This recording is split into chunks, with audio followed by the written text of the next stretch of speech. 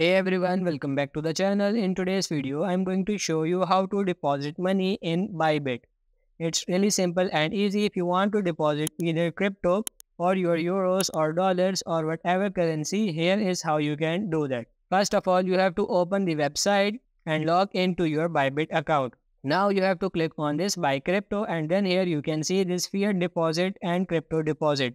So if you want to deposit crypto from another exchange, click on crypto deposit and if you want to deposit your euros or dollars or another currency, click on fiat deposit.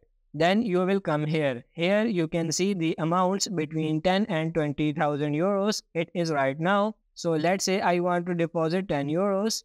Fill in 10 right here and here you can choose your currency.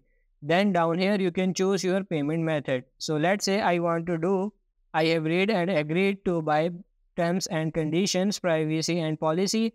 If you do agree, click on this confirm or continue and then here you can just fill in your payment details and after doing that you will have deposited money into your Bybit account.